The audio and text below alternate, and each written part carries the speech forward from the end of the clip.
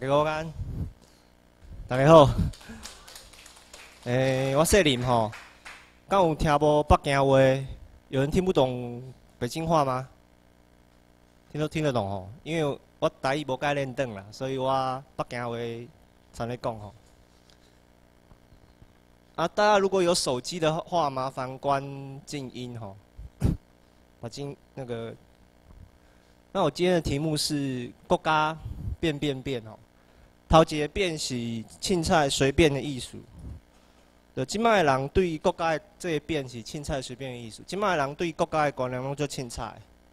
哦，什么拢叫国家？比如讲联合联合国是毋是国家？觉得是国家请举手。联合国。啊，有人举手。联合国不是国家吼，虽然它有一个国字，它等于是一个社团呐。哦，它是一个 association，那社团的成员都是主权，大部分都是主权国家，所以它虽然有一个国字，联合国并不是一个国家哈。那中华民国是不是国家？不是哦，所以有一个国字的就不代表它一定是个国家，哦，所以我们就要澄清国家的概念。第二个变是变化多端的意思，就国家这个概念其实是千变万化的。哦，如果你看这个以前的历史到现在的话，其实国家的形态是很多的。比如说，基本国家有两分类的话，分粗一点就是有两种，一种叫单一国家，叫 simple state；另外一种叫做复合国家，叫做 composite state。哦，那复合国家就是它不是单一的国家组成的。它就是这个国家里面，可能它的成分有很多国家。哦，比如说以前的大英帝国，以前的鄂图曼土耳其帝国，哦，或者是俄罗斯、俄苏联啊，苏维埃联邦，他们都是一个国家里面有很它的成分又有很多国家组成的，就国中有国啦。所以国家的组组成形态其实是千变万化的。如果我们不能正确理解一些基本的组成形态的话，你就看不懂新闻。哦，你就看不懂，比如说克里米亚为什么要独立？克里米亚到底是不是一个国家？觉得克里米亚是个国家的，请举手。没有啊，有。克里米亚，如果你去网络上查它的中文维基百科，它叫什么？它叫克里米亚自。自治国对不对？对不对？它叫克里米亚自治国。可是你看它的英文，它写什么？它写 Crimea 那个 autonomous autonomous republic，就是翻成北京话就是克里米亚共共和自治自治共和或者共自治共和。但他没有说国，他只说自治共和。所以它是什么？它是一个政治实体。它是一个克里米亚自自治体啦，懂我意思吗？它的政体是以共和为主，也就是说，它有议会，它有自己的议会，代表当地人民，可是它没有主权，它的主权在乌克兰手里，在乌克兰的元首手里，所以，它如果要独立的话，是违反乌克兰宪法。所以为什么美国会说这个克里米亚独立？虽然他们是用公投的，好像是。符合当地人民大部分的愿望，可是呢违反乌克兰宪法。那为什么违反违反这个国际？为什么奥巴马会说他违反国际法？因为他们之所以敢 敢这样子公投，是因为俄罗斯在后面推教唆嘛。俄罗斯在很久以前就开始发发护照。发给那些恶意居民的俄罗斯护照，所以当地公民克里米亚的公民有很多，他们是认同俄罗斯，而且持有俄罗斯的护照，所以俄罗斯就可以以说保护当地侨民的名义进军克里米亚。那这样就违反了联合国宪章，就是说外国势力不可以去侵犯他国的领土主权完整，这是违反国际法。所以，从从一些新闻，你你要看懂一些新闻，你必须要一些基本的国际法常识，还有一些国家的概念，你才能看得懂。不然你就看不懂说为什么为什么一个自己管自己的政府一个地方，他说要公投要独立。OK。那第三个辨是分辨的意思，就是说了解一些基本的组成形态，我们才能思考说什么是我们想要追求的国家，或是说我们想要追求的政体，或是或是政治实体。好，那这幅画不知道有没有人知道？这把刀刚有人知呀？知呀？请给他秀一下。好，这把刀是救命，在一六五一年。西元一六五一年，有一部很有名的政治学经典叫《利维坦》，这个台湾翻成《巨灵论》，哦，他是他是这个霍波斯霍布斯写的。那这部书为什么说是政治学的经典呢？因为它是这个中古世纪的国家的概念是君，大部分都是君权神授嘛，皇帝的权力是上天赐的。那怎么转变成近代国家呢？近代国家的概念是什么？大部分就是，就是所谓的宪法嘛，对不对？那宪法的源头是什么？怎么会有宪法这个概念？就来自社会契约论。所以，社会契约论并不是卢梭发明的，最早是要追溯到这个这部书的作者叫做霍布斯，在一六五一年的时候写了一部书叫《利维坦》，这这个这幅图就是《利维坦》那部书的封面。那他为什么要用这幅图当那本书的封面呢？其实是很有深刻的意义，因为这这幅图就很深刻的刻画什么叫做一个国家。他说国家就是一个人造人呐，你看这个巨人的每一点，你看这个这个是有很多城城堡对不对？村村庄、城堡、教堂，然后这个巨人呢站在这个巨人竖立在这里。戴着皇冠，右手拿了宝剑，左手拿了权杖。他的巨人的身体的每一个点，你把它放大来看，都是一个人。比如说，这个巨人是由许多人汇集起来起来的巨人。所以，这个这个巨人就这个人造出来的人呢，就是一个国家的概念。好，那他右手拿的宝剑，象征着世俗的权利，比如说战争的权利、占领的权利、征服的权利。左手的权杖象征着精神方面的权威，比如说那个西方国家就是类似于教皇啊，哦，那个国家的最高精精神指导的，哦，教皇教宗，如果是政教合一的国家啦，啊，如果不是政教合一国家，像现在你也可以想象说，最高的主权者有权利可以定定这个教科书要怎么教纲要怎么定啊。因为他他要决定说，我们这些共我们共同体要怎么样去思考、认识我们的历史，他可以定定这个教纲，所以这个就是精神方面的权威。那这个皇冠代表的就是主权权威，所以拥有戴皇冠的不是这个巨人的每一个细胞，哎，让大家理解吧，不是细胞在戴皇冠，那是谁戴皇冠？头嘛，对不对？头叫做什么？就叫做元首。国家完秀了，是元首才戴皇冠哦，不是细胞戴皇冠哦。假设这个细胞有一个中间中中间有个细胞叫做林非凡，这个细胞有个细胞叫陈威霆，他们是戴皇冠的人吗？不是啊。所以，虽然他们今天可以攻击这个占领立法院，他们为什么可以占领立法院？很简单，因为王金平默不吭声嘛，对不对？对不对？因为警他们要动用警察权，要看王金平的脸色，那王金平就是默默默支持啊，他他不他王金平不动用警察权，所以他们就可以占领立法院，所以他们并不是靠军事占领立法院，不要搞错了，他们并不是占。不是真正战争法下的占领立法院，他们是因为王金平的默许，他们才可以坐在那边，懂我意思吗？所以当白狼跟一群什么中华统一促进会的一些学生去找那些学运领袖的时候，他说什么？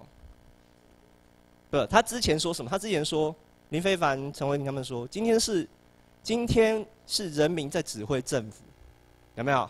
他有没有这样讲？因为他觉得他代表人民嘛，林非凡、陈伟霆，他觉得他们代表人民嘛，对不对？他说今天是人民指挥政府啊，这句话翻译在这里，不好意思。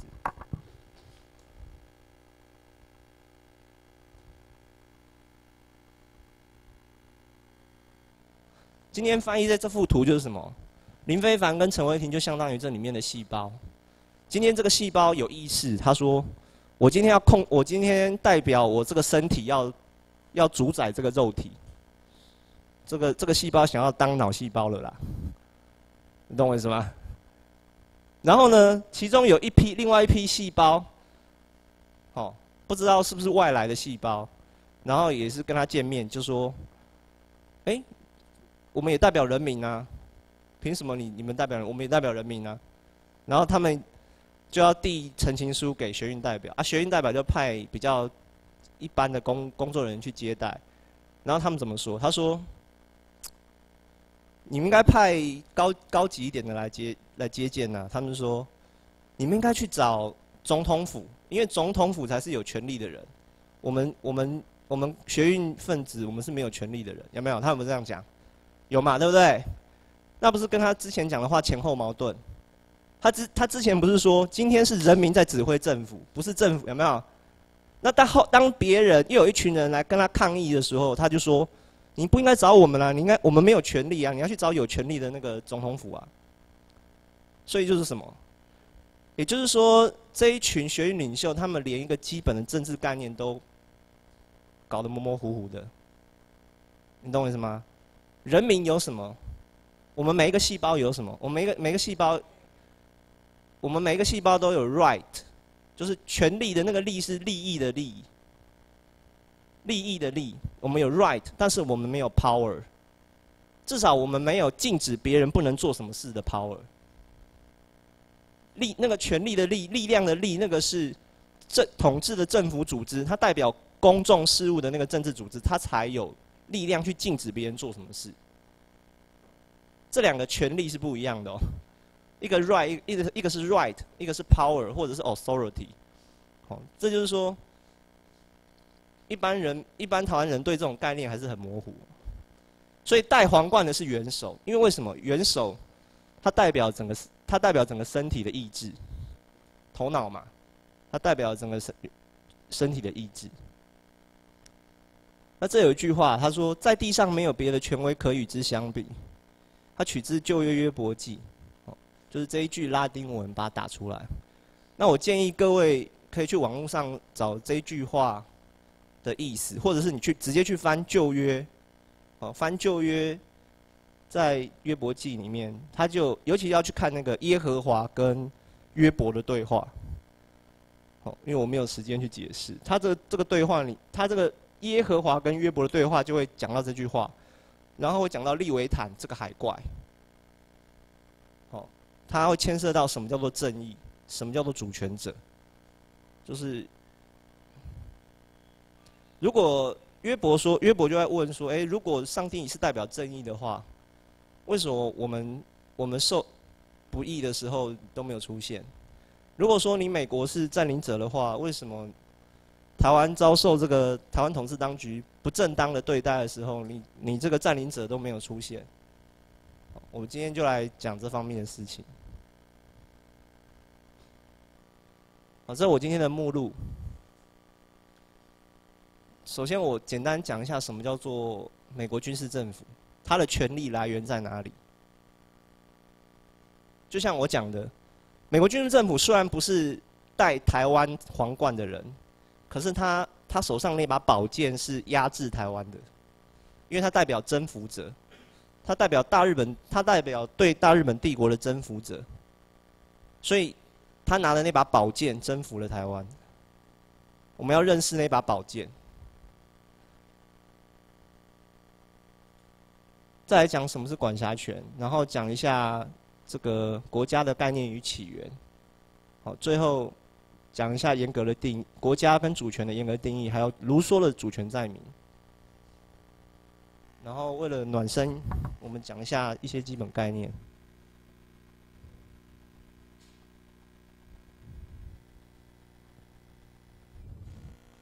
哦大家在新闻报报章杂志常常会看到中华民国中华台北台湾这三个是同义词吗？哦我们就来简单解释一下这三个字。这三个术语，到底不一样？觉得一样的请举请举手。哦，大家都知道不一样哦。那怎么样不一样？首先我们来看。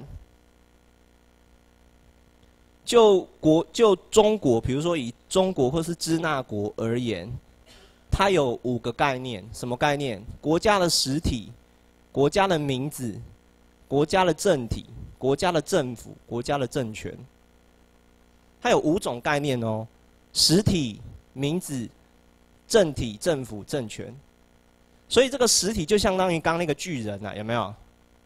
好，比如说这个实体就是刚那个巨人。这个名字就是那个巨人的名字，或者是说，那个巨人呢，他身体有灵魂，那这个灵魂呢有三个等级，就好像在道家来讲，他要讲魂魄嘛，对不对？魂魄嘛，那这这个有三个层级，这个灵魂有三个层级，政体、政府、政权，所以这个名字呢，通常是取那个主宰那个肉体灵魂的那个名的那个灵魂的名字。比如说，你意识你自己叫什么名字？哦，所以它既是代表这个实体的名字，也是代表，也是这个能够代表这个肉这个国家实体的政府或政权政体的那个名字。OK，但是你要注意哦，比如说，在某一些阶段呢，虽然它的国家这个国家实体都是中国，可是它名字是可以换的哦。我们人是可以换名字嘛，对不对？对不对？我们人还是同一个人呐，可是我们是可以改名的，所以你看，他这个阶段叫中华帝国，因为这时候是袁世凯称帝。哦，袁世凯称帝这个阶段叫做中华帝国，可是他的国家还是中国，就国际法来讲。那这个这个阶段叫做大清，因为这时候溥仪复辟嘛，张勋拱溥仪出来复辟。所以他的政体是君主立宪，政府是张勋的军政府，政权是溥仪。所以他这五个概念是不一样的哦。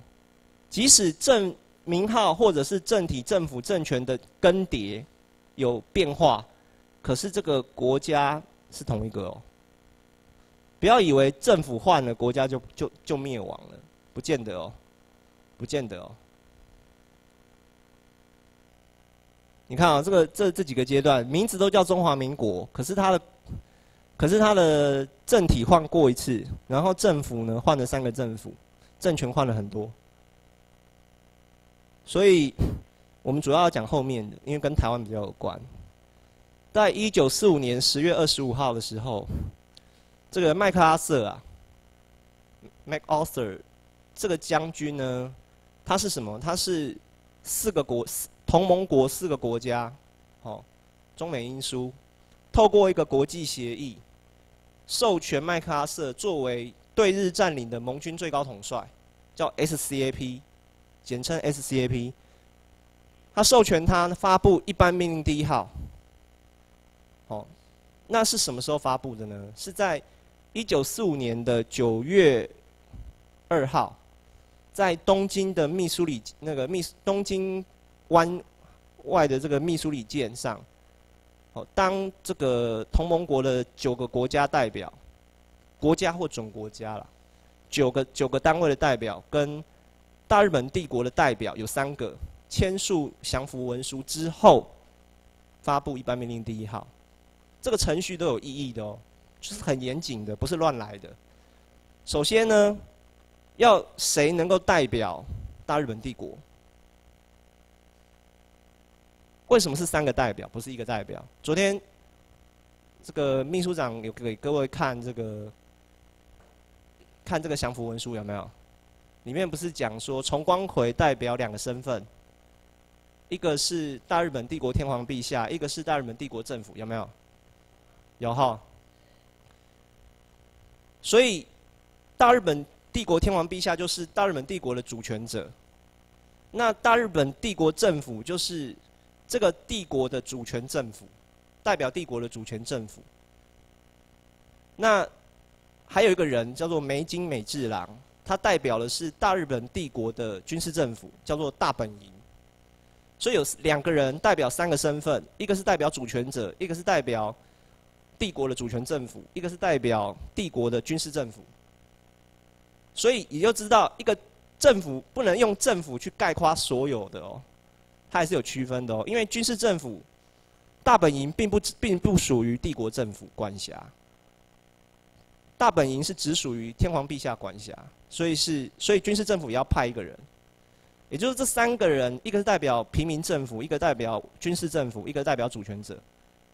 所以这三个代三个代表两个人呢，他会天王陛下先颁发一个委任状，然后重光葵跟美美津美治郎都有得到这个委任状之后，他们才能够代表这这这三个身份呢，去这个东京的秘书里见降服仪式上签署降服文书，然后。当然，麦克阿瑟也有得到这个美国总统的授权，还有包括我刚刚讲那主要那四个国家中美英苏，然后降服文书上签名的是九个单位，哎，我没记错的话，九个单位，包括流亡法国的流亡政府，所以呢，他发布一般命令第一号叫叫这个蒋介石，蒋介石再叫他的代表陈仪。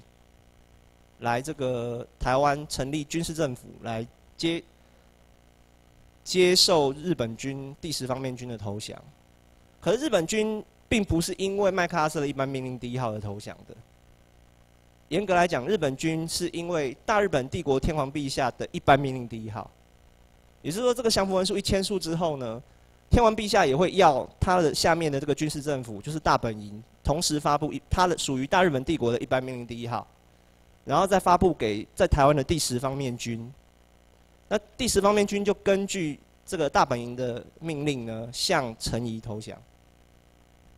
所以你知道，一个是国内法的程的程序，一个是国际法。国际法就是降服文书，国内法就是大本营这边。所以并所以陈仪并不能直接给拿这个一般命令第一号给这个给第十方面军的总司令。这是不合程序，所以其实啊，如果你有去查资料的话，你会发现，台湾的台湾总督或是第十方面军总司令安藤利吉，并没有向陈仪投降，或是说那个仪式没有完成，他递给他的是什么？是一个受领证啊，因为这个程序他们程序上有问题，但我我这里就不多说了。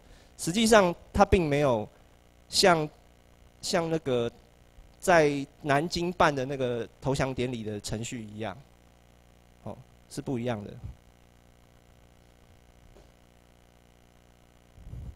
然后，所以这时候呢，中华民国他除了他自己国内的政府，哦，当然这时候有争议啦，有人说有三个政府，三加一啦，一是这个溥仪的满洲国政府嘛。三是什么？有什么？汪精卫南京政府，有延安的毛泽东政府，有南京的国民政府，哦，有这个重庆的国民政府。哦，也许有人说三个政府，三加一个政府了，但是他们他们要抢夺的是一个国，一个除了溥仪溥溥仪这个满洲国之外，那三个政府要或是三个政权要抢夺的是同一个国家的代表，懂我意思吧？只是说这个三这三个里面呢，汪精卫是靠向轴心国的，啊，毛泽东基本上很暧昧啊。这个南京国诶重庆国民政府是靠向同同盟国嘛，所以当同盟国战胜之后，同盟国眼中的这个中国代表是由谁？就是蒋介石这一方嘛，对不对？另外呢？他们又在台湾成立一个中国式的占领军政府，但是他要受盟军制约，为什么？因为他是根据盟军下面的一般命令第一号。好，再来呢，在这两个阶段呢，中华民国或说中国并没有一个合法的国内政府，合法的主权政府。我是这里指无，是指没有没有那个主权政府，当局还是有的啦。当事实当局还是有的，但是他没有主权政府。为什么这么说呢？因为李宗仁呢，他是最后一任中华民国的代理代总统。那李宗仁他在十二月的时候流亡，从香港流亡到美国，他并没有建立一个合法的流亡政府。就像达赖喇嘛跑到印度，他有成立一个印度流亡政府嘛，在西藏的流亡政府在达兰萨拉嘛，对不对？所以李宗仁并没有建立流亡政府，所以中华民国的这个合法的主权政府的法统就断掉了。断掉，可是中国还是存在哦。所以这就是一个案例，告诉我们什么？政府不存在，不代表国家灭亡。当然，这个不存在不能太久了，你懂我意思吗？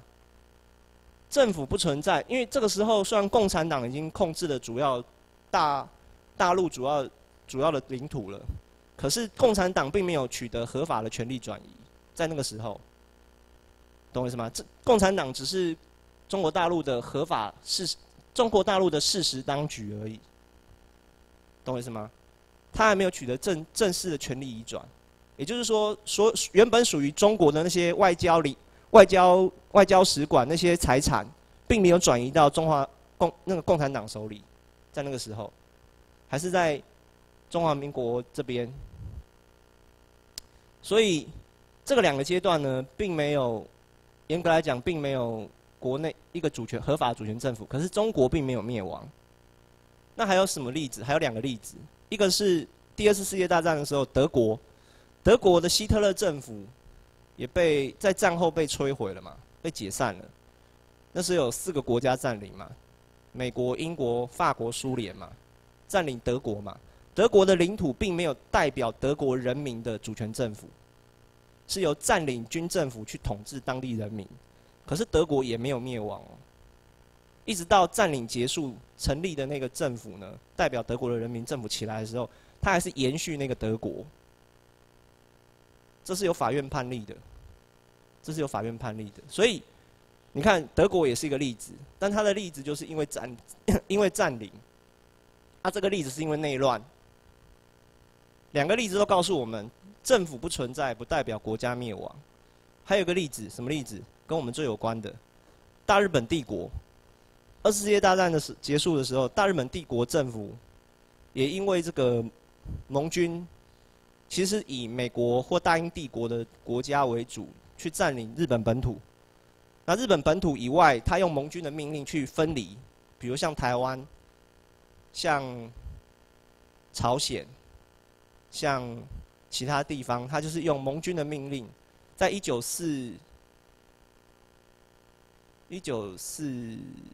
七年一月二十几号，一月二十六吧，我没记错的话，盟军命令 SCAP 几号忘记了，他就把他就定义什么叫做日本本土，什么叫不是日本本土，所以就把原本大日本帝国领土划分开来。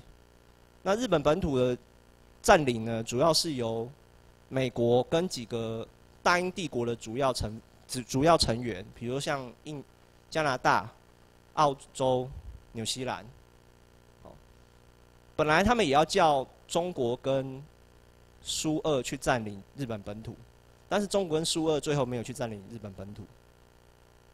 那台湾的部分就是蒋介石这个占领当局派这个这个陈仪来嘛，所以所以这个大日本帝国的占领，严格来讲是有点复杂，它它有属于日本本土的部分，跟不属于日本本土的部分。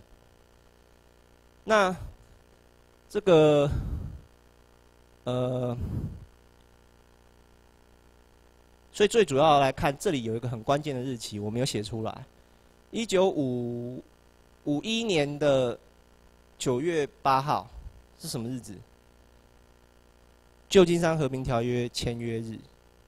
大家要记得，一九五一年的九月八号，其实之前还有个更也是一个很重要的日子，叫做。一九五零年的六月二十五号，发生什么事？之前韩战爆发嘛，所以六月二十五号的时候发生，杜鲁门公开宣称叫第七舰队来台湾防御。也就是说，在一九五零年的一月份的时候，杜鲁门还公在记者会上还公开宣称说，我们没有要占领台湾。为什么你知道吗？美国的敌人不是中国。如果你有看过美国的机密档案的话，你要知道美国的敌人不是中国，美国的敌人是谁？啊？也不是苏俄。美国的敌人是共产主义。你要晓得哦，美国的敌人是共产主义，既不是苏俄，也不是中国。所以，只要中国或苏俄出现了一个非共产主义的政权，或是今天这个政权呢，他们要实行的是一个假的共产主义，那美国不一定会反对哦。你要晓得，他们怕的是，他们忌忌惮的是共产主义，并不是中国或苏联。OK，那所以在杜鲁门在一九五零年一月的时候，他其实还刚召开记者会，包括他的国务卿艾奇逊都公开宣称说，他们没有没有意图要占领台湾。但是到为什么？但是到了韩战爆发，他的战略整个改变，他战略整个改变，所以他就在六月二十五号的时候下令第七舰队防御台湾，封锁，seize，把这个台湾海峡封锁住，既不准共产党打过来台湾，也不许蒋介石打过去中国。OK，这就是他要实质占领的前哨。OK。所以到后来，一九五一年的九月八号签订旧金山和平条约的时候，他就没有按照开罗新闻公报的政治政治协议，把台湾给蒋介石。就是因主要是因为韩战爆发，还有蒋介石已经流亡了，他不能，他对他代表中国的那个代表性已经很薄弱了，所以台湾就被悬置在那里。所谓悬置，并不是说领土主权没有人哦。领土台湾的领土主权还是日本天皇陛下，啊，但是因为被占领中，所以天皇陛下不能亲自去实行他的主权权利在台湾，所以这个叫悬置，就好像这栋财这个财产被被被查封，被法院裁封，类似啊。所以在一九五二年的四月二十八号，就是旧金山和平条约生效日的同时，签订什么？哎，生同时什么生效？美日安保条约生效，第一版的美日安保条约生效。然后在它生效的前几个小时，签了台北合约。谁跟谁签？日本国政府跟蒋介石集团的这个中华民国政府签了所谓日华台北合约。这个是有美港的，他为什么要在这个旧金山和平条约生效的前几个小时去签这个？这是有没港的。那所以这个八月五号是什么日子？八月五号就是台北合约的生效日。好，我们再回来讲旧金山和平条约。旧金山和平条约的第二十三条说，第二十三条说，美国是日本的主要占领权。好。那是不是台湾的呢？问题在这里。为什么问题在这里？因为台湾在那个时候到底是不是属于日本？这是一个大家都搞得模模糊糊的问题。为什么？因为盟军在我刚讲的，他在一九四四七年的一月份，他用他用盟军的训令，把他去定义什么叫日本本土跟非日本本土。在英文来讲，叫做 Japan proper 跟 Japan improper，你懂我意思吗？所以那个 Japan improper 的地部分，就是被盟军当做殖民地的部分。那我们台湾那时候被被盟军命令划成 improper，所以就是不属于日本本土。但是你如果呃念过之前昨天大一些讲师的课文，你就知道。台湾在一九四五年四月一号，天皇陛下已经颁布诏书，对不对？给台湾人参政权跟参战权嘛，对不对？那以社会契约论或者是万国公法的角度，台湾已经是属于 Japan proper 了，它已经属于日本本土了，只是这个行政程序没有走完，你懂我意思吧？法理已经完备了，可是行政程序没有走完。那那时候美国呢？也许美国并没有发觉到这个诏书的存在，也许啦，杜勒斯他们并没有发觉这诏书，所以他把台湾当殖民地。但也因为美国那时候的整个亚洲战略，他想要扶持中国当美国在亚洲的代理人，所以他就把台湾当殖民地对待。所以，好，呃，所以这个他说美国是日本的主要占领权，那这个日本有没有包含台湾？你再去看《旧金山和平条约》的第四条，他说什么？他说：“日本承认美国军事政府在对日本跟日本国民的财产处分的有效性，对不对？所以问题问问题就要归纳到除了除了什么是日本以外，另外一个问题就是说，美国有没有在台湾成立军事政府？如果有，他这个占领者的责任就跑不掉了。你懂我意思吧？”如果美国有在台湾成立军事政府，那他这个占主要占领权的责任就跑不掉了。所以，我们就要今今天就要来讲什么叫做美国军事政府在台湾。好，那八月五号就是台北合约的生效日。所以，台北合约的意义在哪里？第一个，蒋介石流亡集团，它本来只是一个流亡政权，它也不能代表中国。可是因为签了这个台北合约，它就可以代表中国了。因为，因为和平条约是一个很重大、很高层的条约，它有代表国家的政府才能够签的。因为战争是国家的状态嘛，战争跟和平是国家的状态，只有代表国家的政府才可以宣战，才可以终战。所以他去蒋介石政府被美国暗示去跟日本国签这个和平条约的时候，他就取得了中国的代代表性。所以他就变成中华民国流亡政府。虽然他有两块小的残余领土，叫做金门、马祖。然后呢，第二张名片是什么？就是在台的占领军政府跟台湾治理当局。为什么这是不一样的呢？首先，它的占领是次要的。为什么？因为根据之前生效的这个《旧金山和平条约》，美国是主要占领权，对不对？所以，任何的其他的其他国家的军事力量在只要有美国占领的那个土地上，都只能作为次要嘛。只要美国同意的话，他就可以驻军。所以他是次要占领权，但是这个治理当局，美国并没有亲自治理。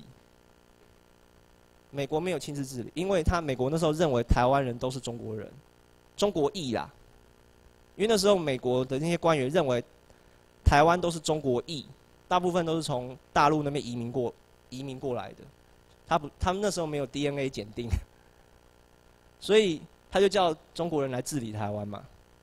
那这个治理治理当局除了主要占领权的默认以外，还有就是因为签了台北合约，因为台北合约的本文跟议定书里面都有明示或暗示中华民国来来管台湾，但是这个是管理而已哦，并没有说转移领土主权哦，这是有差别的。也就是说，他只是被承认为管委会主委而已，管委会而已，他并并没有取得领土主权的转移。好，所以这两张名片三个头衔就一直延续到一九七九年一月一号。这时候我就写，这时候我就不是写中国了，有没有？我写台湾的，有没有？这时候我只看台湾，我不看其他地方了，我只看台湾。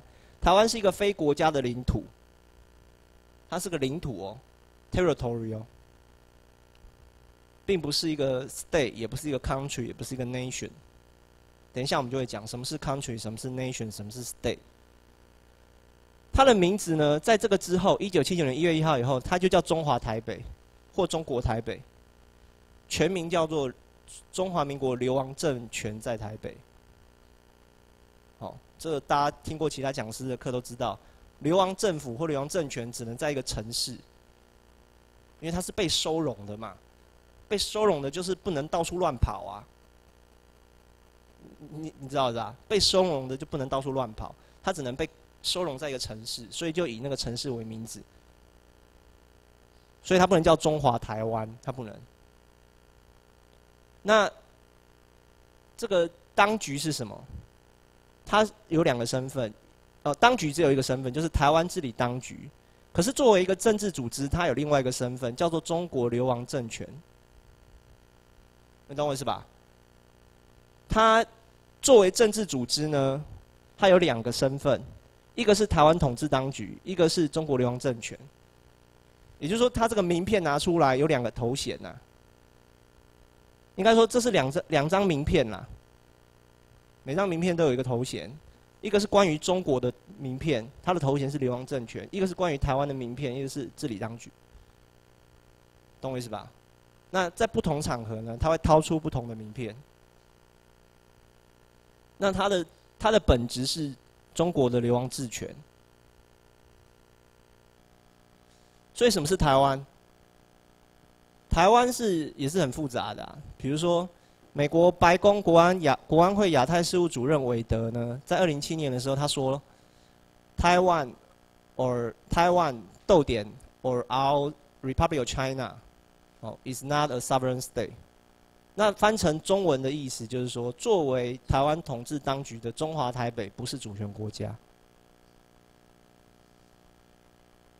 哦，翻成中，因为它它的原文是台湾。台湾逗点 or our or Republic of China 嘛，它是同位语嘛，也就是说，作为台湾统治当局的中华台北不是主权国家。那你要注意哦，这个 state 是什么？这个是国家，但是它是政治组织的那个国家意思。所以呢，这个中华台北也是一种政治组织的名字，对不对？所以这个台湾它就指的是一种政治组织，所以它就是统治当局。所以你你不要看到台湾就很高兴，就说台湾就是代表代代表我们，不一定哦，不一定哦。你要去看，像第二句，这是美国国务卿鲍威尔在二零零四年讲的，他说什么？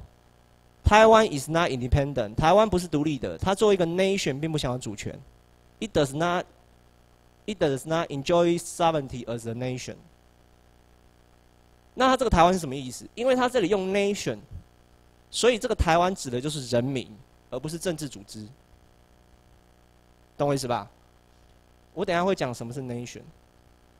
所以呢，这两个台湾同样都写台湾，它的意思就不一样哦，不一样哦。好，你们也可以参考这个秘书长写的《台湾战争史》第四百四十篇，秘书长有另外一番详细的见解。第三，第三个，如果我写这一句的话，我写。台湾现在被中国流亡政权作为台湾统治当局治理，这台湾是什么意思？因为它是被治理的，所以它就是指那个被治理的领土或人民，懂我意思吧？它就不是那个政治组织，不是统治的政治组织。所以，不同的台湾在不同的情况会有不同的意思，你要小心哦，你要小心哦。台湾的人民与台湾上的人民，因为这里有个上，哦，就是 on。所以这个台湾指的是那个地理范围，懂我意思吧？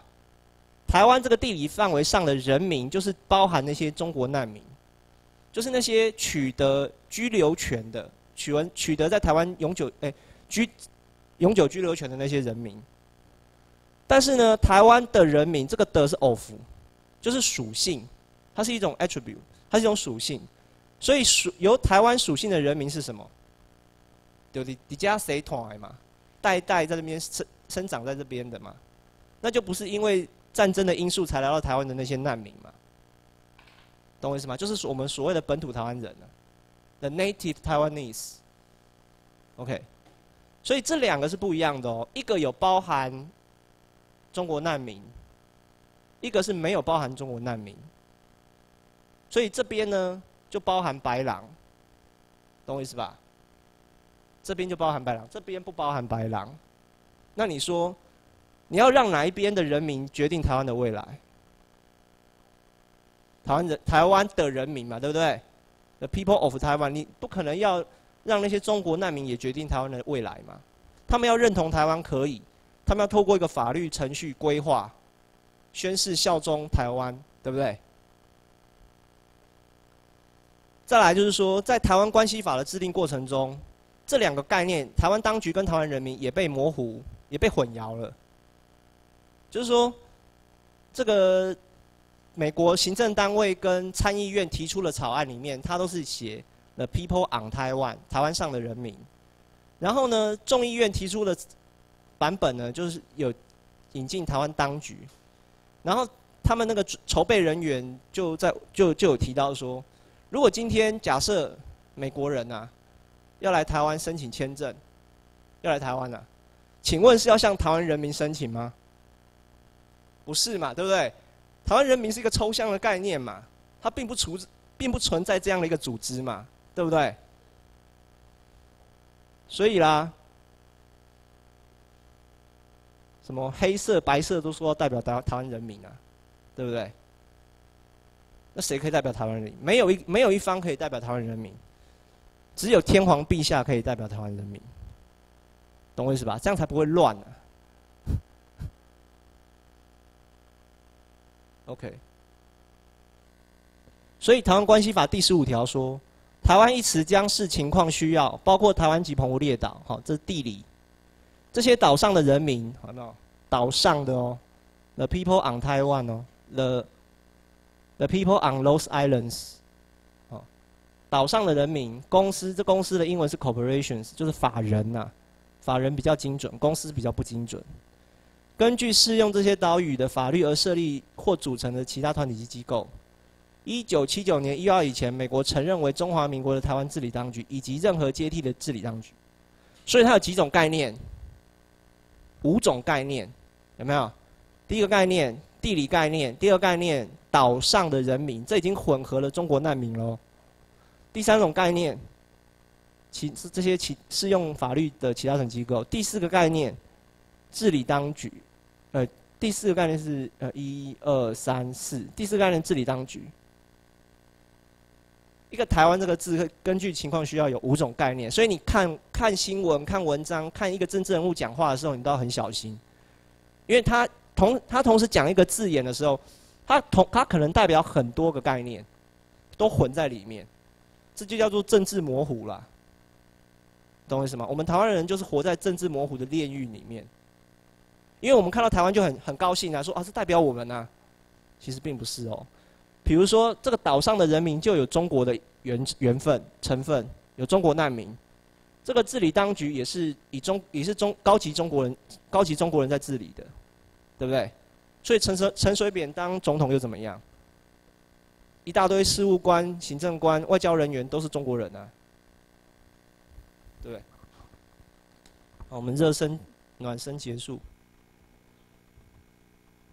进入主题，什么是军事政府？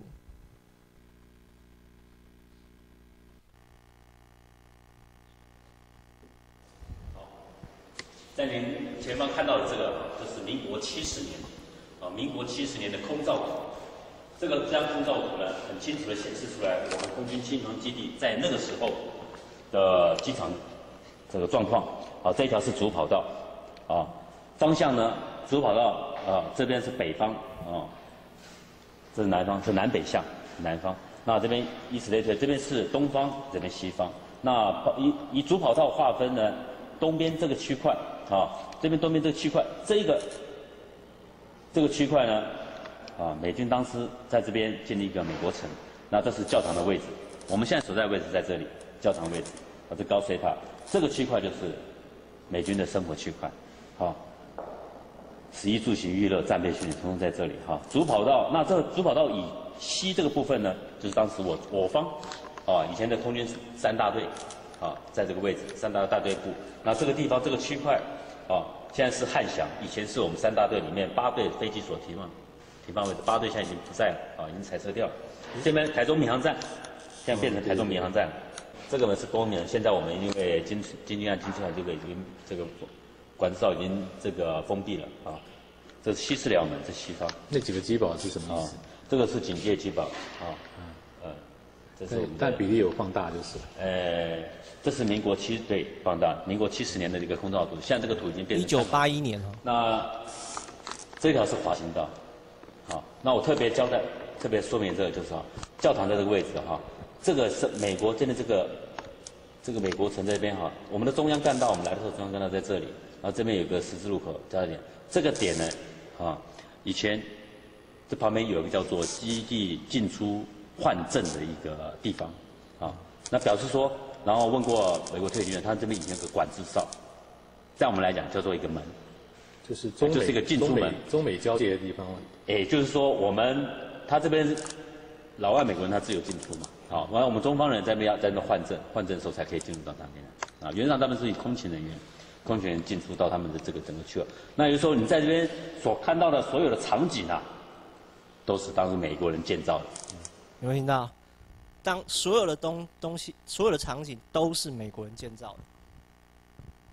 他清泉岗空军基地里面有一座美国城市，在一九八一年的时候是个空照图。那为什么美国要在台湾的空军基地里面建造一座美国城？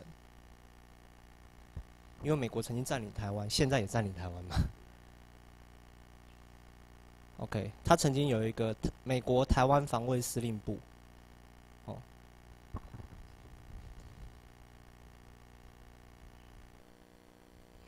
OK，这是另外一个 K 案例，就是最近的。我是不是有跳过跳？OK，就是今年的四月三号，这个罗素丹尼尔哈，丹尼尔罗斯。他在他是东美国国务院的东亚与太平洋事务局的助理国务卿，他在参议院的境外关系委员会东亚与太平洋事务子委员会的听证会上，我揭露他一些话，我把它翻译出来。这些有些话你在媒体上看不到，因为媒体只会强调什么什么台湾自治那部分，那其实是假假议题啊。我我反而比较注意这这其他部分。他说：“此外，我们享受台湾的防卫和军事服务的领导人员不断的和健全的交流。”哦，这是一句有一点意味深、有一点意意味深长的话了。哦，但是可能也没时间讲。反正你记得这句话，然后你去想说，为什么台湾台湾新闻曾经出现台湾国防中国中华民国的国防部长本来说要辞职。结果隔天又说不辞了，哦，这个就跟这个内幕有关。T.R.A. 就是台湾关系法指出，哦，这个这个在台湾关系法里面有，所以我就不讲了。重点是这一句：我们与台湾的安全关系是远不止于对台军售。我们在新闻报章杂志上不是都只看，只要讲到美国这个跟台湾的安全关系，都只讲到军售吗？对不对？对不对？哦，这助理国务卿讲了，他已经偷偷讲，我们与台湾的安全关系是远不止于对台军售。台湾没有正式参加国际同盟或演习，但台湾使用美国所提供的保守材料和服务，加强其人道主义救援能力。这也是很有趣的一句话。你看，最近这个马来西亚航空三七零班机不是吵很大？啊，是不是新闻说中华民国派出三艘？船舰去参加搜寻，有没有没有？有没有？他没有说什么，他没有说那是美国所提供的。为什么？因为大概自两千年以后，所有中华民国的船舰呐，军舰都不能跑到外海去，没有美国的同意是不能跑到外海去。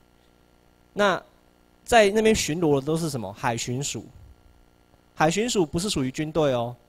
海巡署是一种海事警察，警察跟军人是不一样的哦。警察没有交战权哦，你懂我意思吧？警察没有交战权，警察的任务是什么？维持秩序。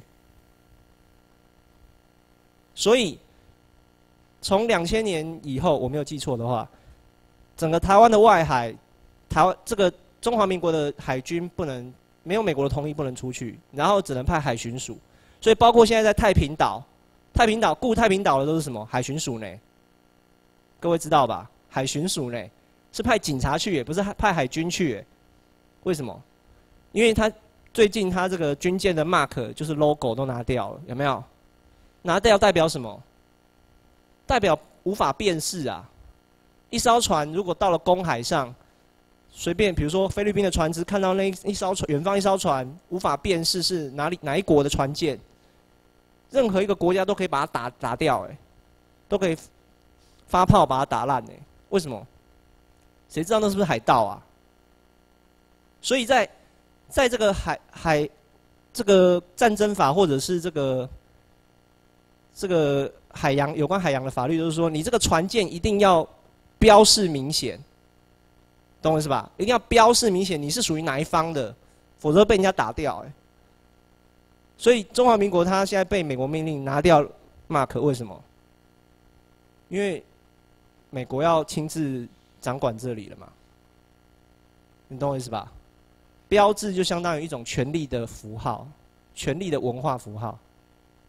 那拿叫他拿掉标志，就是说，已经不允许他用这个这个权利，要要解除他的兵权的啦。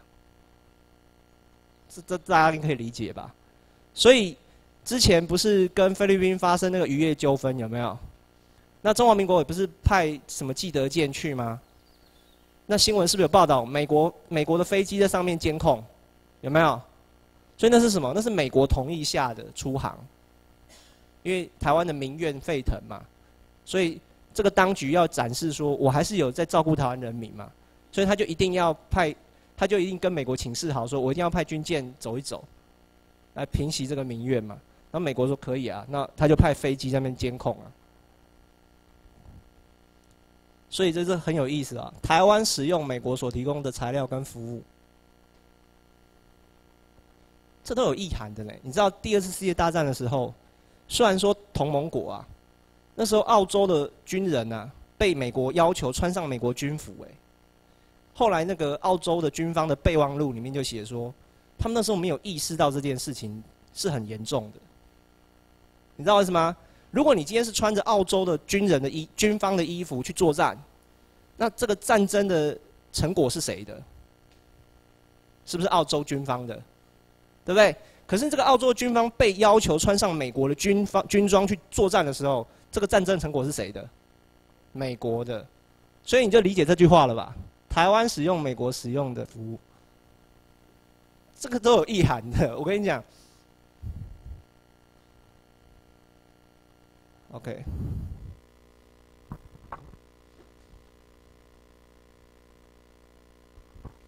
难得的场面，在台北的松山军机场出现了美国军机，让这些军事迷疯狂拍照。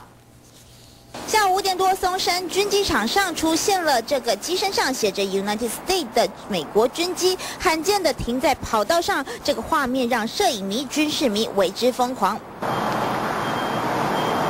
美国空军专机队的啦，哈，嗯，那他那个他们七三七这个飞机啊，通常就就是哎周边。有那种议员要来台湾的时候，对不对？他们会出这种专机任务。这架军机是载着美国众议院。时间不多了，各位可以自己去网络上查这个影片。所以这个美国军机来台湾其实很常常来。那他为什么来？你看哦，载着谁？美国众议外交委员会主席。外交委员会主席来台湾为什么要坐军机？为什么一定要坐军机？他为什么不坐外交专机？他为什么不坐一一般的特别的专机？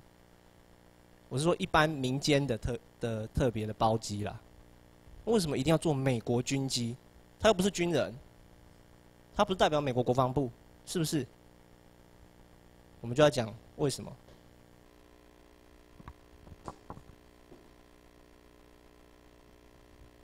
我毕竟还是一国元首的宣誓就职哦，还是有来自于各界的祝贺，包括了美国众议院外交委员会马英九第二任就职的时候所率领的国会议员祝贺团，今天下午就搭乘美国政府的军机抵台。罗斯说，他们此行除了要庆祝马总统连任之外，也将跟台湾讨论中国的崛起以及经贸关系。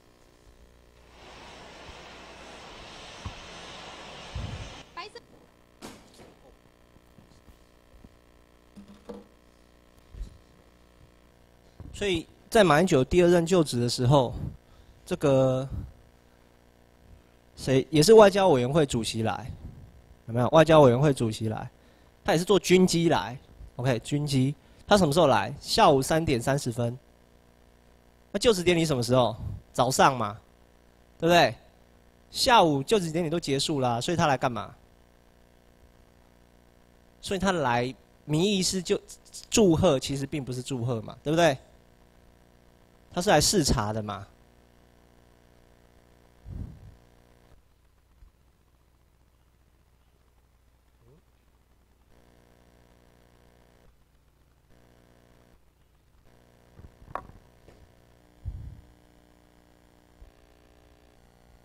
啊，这这个新闻不知道大家知不知道？有一个美国美国空军呃 KC 一三五加油机出现在松山机场，送谁 AIT 的早产 AIT 官员的早早产儿？你会觉得很夸张？你会觉得很夸张？中华民国的外交，比如说啦，金普聪啦，他小孩子生病了，可以可以叫军机帮他送到医院吗？可以吗？不可以吗？对不对？袁建生小孩生病了，可以叫他小孩送到用军机到医院吗？可以吗？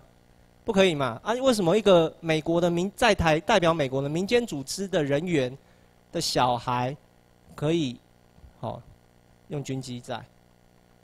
他在干嘛？美国在给你看啊，看什么？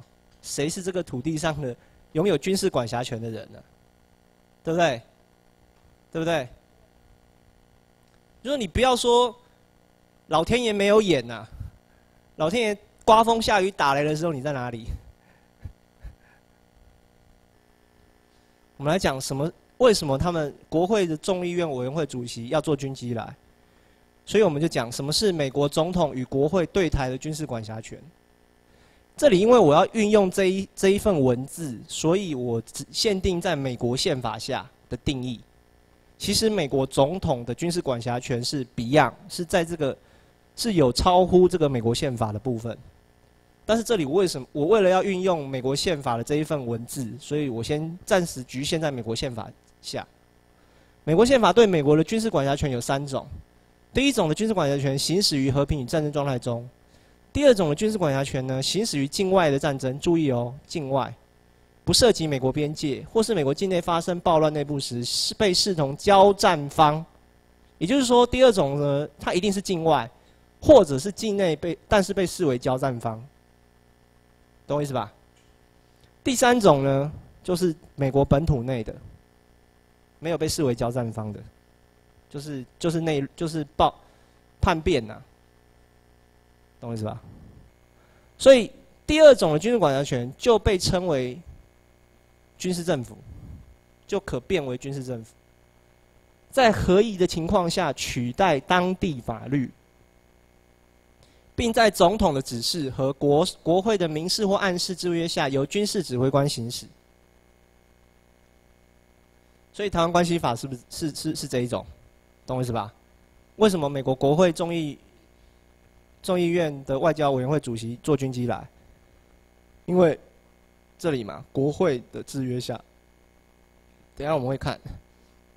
第三种就是戒严，所以中华民国在台湾曾经实施的，在一九四九年五月二十号实施的那个不，那个严格来讲不能叫戒严，那个其实是军事政府，只是他骗我们台湾人，那叫戒严。因为台湾那块领土那时候并不属，并没有被中国取得啊，现在也没有被取得啊，所以他在。它是属于境外的军事统治，对不对？境外的军事统治就是叫做军事政府。虽然这一个文字是美国宪在描述美国宪法，但是一般战争法也是这样。属于境外的就是军事政府，属于境内的就是戒严。OK，所以为什么中华民国总统是五二零就职？一般人都会会告诉我们说，因为这是惯例啊。那你有没有想过，真的是惯例吗？你去查查看，中华民国总统。的就职是不是惯例？真的是五月二十号？不是哦，不是哦，他骗你是惯例。事实上，五二零是什么？是他在台湾实施一九四九年五月二十号实施戒严，骗你是戒严啊，其实是军事统治啦。所以你看，在《台湾关系法》第十四条，当然其他条也有提到一些啦。我主要看第十四条，你看他说什么？众院外委员会、参议院外委员会、国会其他委员会。可以监督台美国与台湾继续维持关系的法律及技术事项，东亚安全安全及合作的台美国台湾政策自行，所以它是一种监督权。所以这里的台湾指的是什么？你要小心哦，这个台湾是多重模糊哦，它既可能指那个统治的政治组织，也可能指那个领土，也可能指台湾人民。你懂我意思吧？所以不要看到台湾就觉得一定是什么意思，你要小心，它可能有很多个意思。你看，美国总统的对台军事管辖权，在一九七九年三月底通过，四月十号的美国总统签署，往前追溯一月生效台湾关系法。他为什么要往前追溯一月一号？这也是有 make up 的，但是我时间不多，我就不多提了。美国总统和国会，布拉布拉布拉布拉，对台湾防卫需要的判断，应包括美国军事当局对总统及国会提供建议时的检讨报告，有没有？所以我是不是说这是第二种军事管辖权？第二种军事管辖权就是军事政府，它有属于总统的跟国会的，有没有？有没有？所以这个美国军事当局要向总统及国会提供报告。所以为什么重有军用委员会要做军机来？他在行使这一种军事管辖权。只是总统如遇台湾人民，这里台湾人民是包包含中国难民的的安全或社会经济制度遭受威胁时，因而危及美国利益时，应迅速通知国会。总统和国会将依宪法程序决定美国应应付上述危险所应采取的行动。所以问题在哪里？问题是什么是宪法程序？所以台湾人要去看美国宪法，要去看万国公法，要去看战争法。第十条 A 这条很重要，很多人都忽略这一条。他说什么？美国总统或美国政府各机构依据美国法律授权或要求，向台湾提供或由台湾接受任何服务、联络、承诺等事项，应在总统指定的方式及范围内，向台湾设立的机构提供上述事项，或由这一机构接受上述事项。此一机构乃总统确定。一台湾的人民适用法律而具有必须之权利者，可依据本法案代表台湾提供保证及采取其他行动者。你看得懂这一段吧？看不懂？首先，什么是向台湾机设立的机构？什么是台湾设立的机构？就是以前叫做台北经那个北美事务协调会，后来叫做现在叫做这个台北经济文化办事处的。那一个台湾统治当局的代表，懂我意思吧？所以是谁给这个机构拥有能够代表台湾人民适用的法律而具有必须是权利者？谁？美国总统有没有？有没有？美国总统确定这个机构呢，能够代表台湾，而且可以依台湾人民适用的法律而具有必须之权利。所以谁给他权力的？美国总统吗？是台湾人民吗？不是嘛？这样你懂了吧？所以什么是什么是选举？选举就是什么？就是美国要给台湾人民一种假的事事实自治，假的，我不是说真的，假的事实。为什么说假的？因为它包含中国难民嘛，对不对？选举是包含中国难民的选举嘛？那那什么叫自治？自治就是说，我们选选出来之后，中选会公告贴出去的意义，就是说，台湾人民，包含中国难民的台湾人民呢，提名这个人当我们的管家，这样你懂吧？那美国总统发贺电，就相当于我认可，他是一个认可，所以他没有他说我没有管你啊，你们自己选的啊，这个管家是你们自己选的啊，你们自己负责啊，你懂我意思吧？这叫做自治啦，这叫美国说的台湾自治啦。那可是为什么是假的？因为有中国难民嘛。印度的西藏的流亡、西藏吐蕃的人流亡人民可以参加印度的选举吗？不可以啊，对不对？第十五条我们刚刚看过了。好，这就是很重要的一个备忘录。他说。在一九七八年十二月三十号，也就是说隔两天就会发生什么？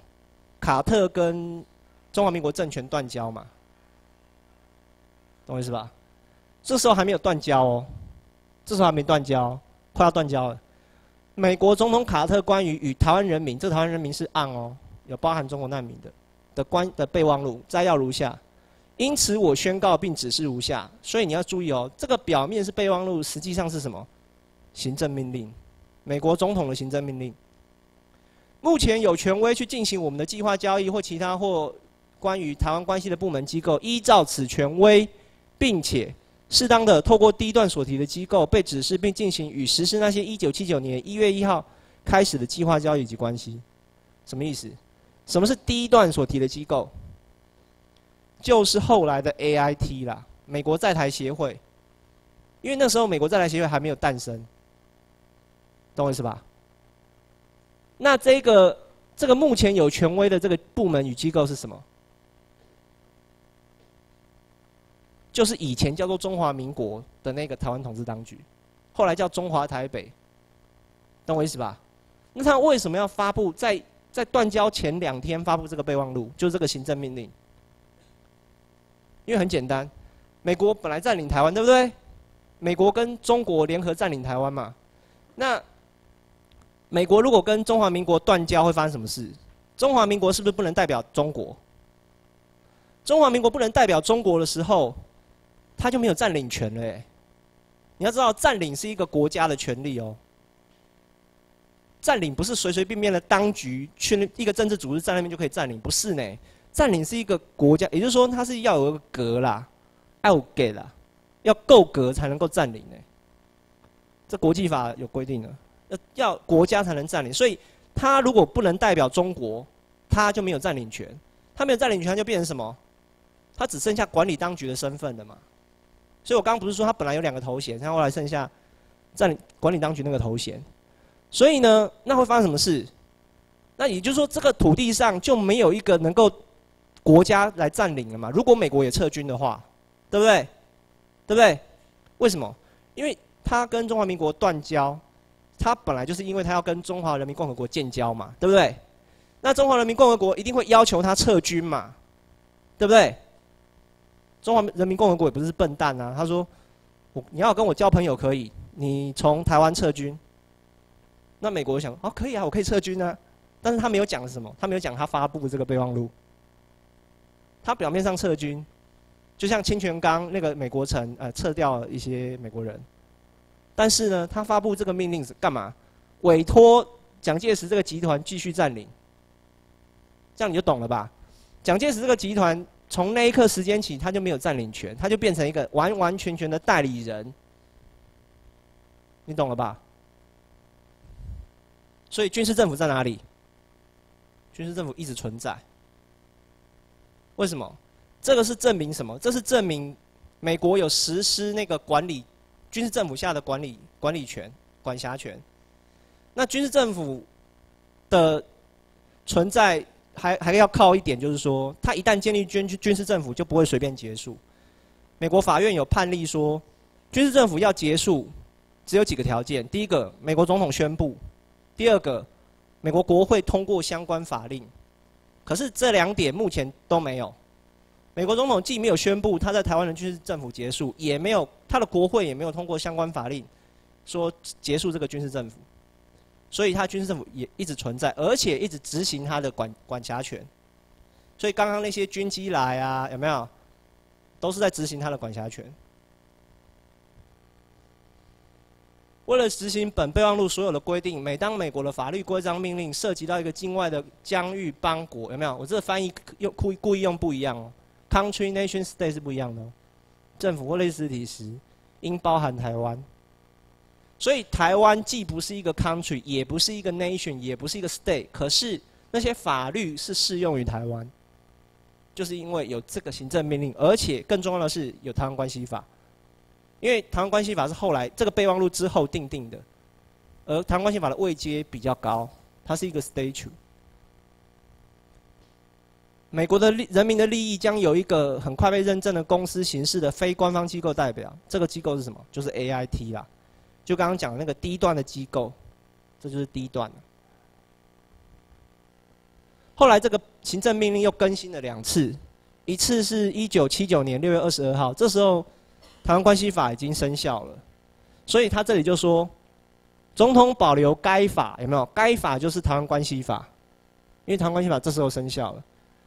你看，特别指定于第十 A 的决定权，决定什么？决定谁是台湾统治当局的代表。那决定谁是台湾统治当局当局的代表，也就是决定谁是台湾统治当局嘛，对不对？我认定你这个代表有资格代表台湾人民，那是不是就认定你有代表，你有资格代表台湾人民，对不对？同样道理嘛。所以你看，他在一九七九年六月的时候，他承认谁？北美事务协调会有没有？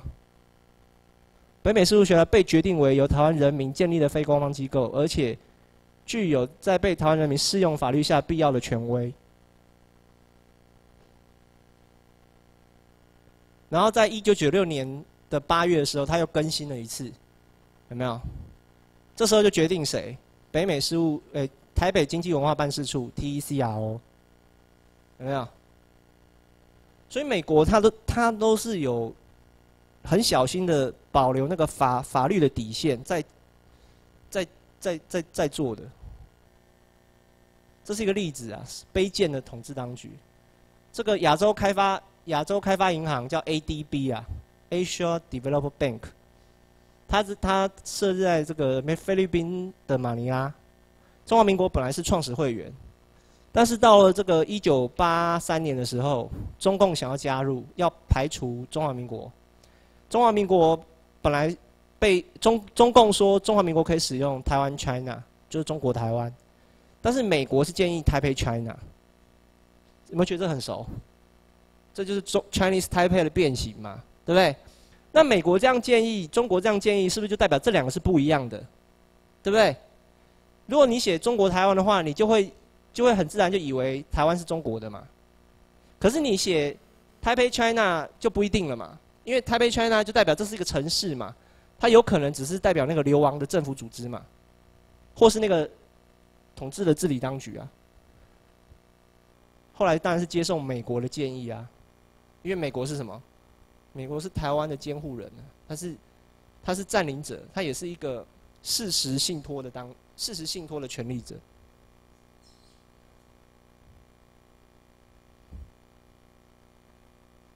我说事实信托是很严肃的哦，我不是说信托，我说事实信托，我不是说法理信托，占领就是一种事实的信托，事实上的信托。这么快？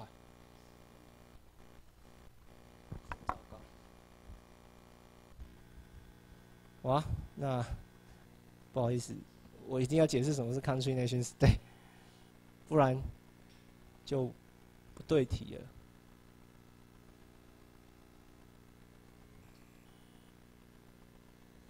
我之前的演讲网络上都有，大家可以找来看哦。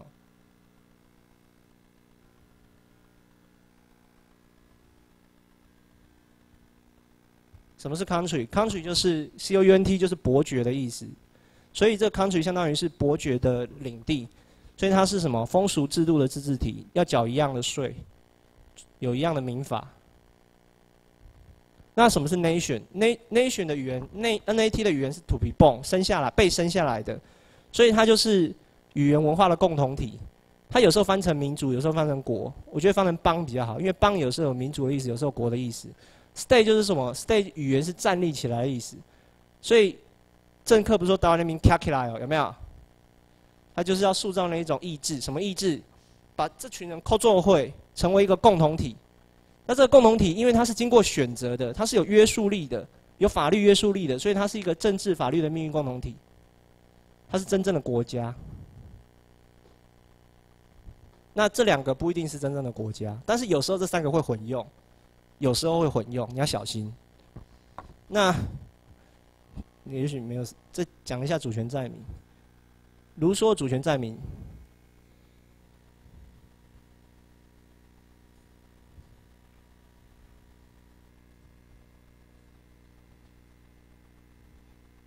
如说主权在民有三个部分，一个是形成公益，就是一群人民，它形成一个共同体，它形成公益。然后呢，这人民选出一个最高的代表去代表公益。然后呢，代表可以授权一些次级的法人，就是政府机关去实行公益。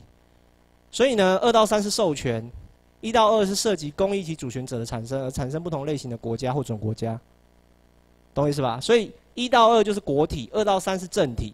一到二，这国体就相当于董事长的产生方式，政体就相当于总经理的产生方式，所以董事长跟总经理当然是可以区分的嘛。但有的人是把它混在一起。OK，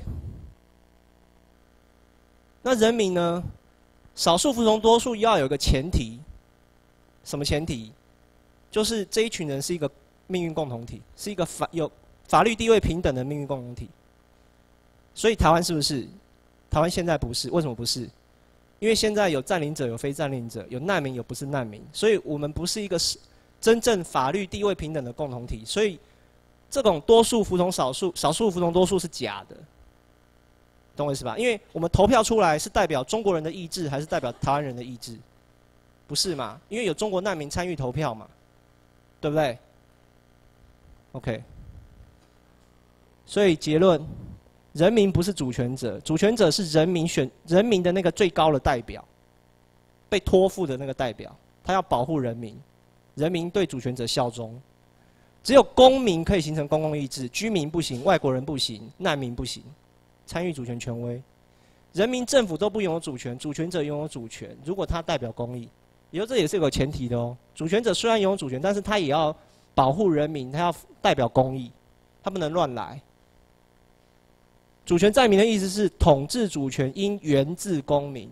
这我不是说领土主权，我说统治主权应源自公民，也就是这句话啦。只有公民可以形成公民，参与主权权威。就是那个每每个公民就是那个细胞。我讲到这里，谢谢。好，各位同学，我们下课休息啊。等一下三点哈，等一下三点开始上课。然后这边有几位同学，麻烦到前面办公室一楼办公室补填一下你们的资料。新竹州林书义、蔡正南，台南州邱敏浩，高雄州张成瑞腾，台中州肖杰兴啊。以上几位到前面办公室补填一下你们的资料。林书义、蔡正南、邱明浩、张成瑞腾、肖杰兴，还有已经有先上过高级班的，来我这边写一下资料。已经先上过高级班，这次回来补初级班的，啊，过麻烦过来我这边写一下资料，谢谢。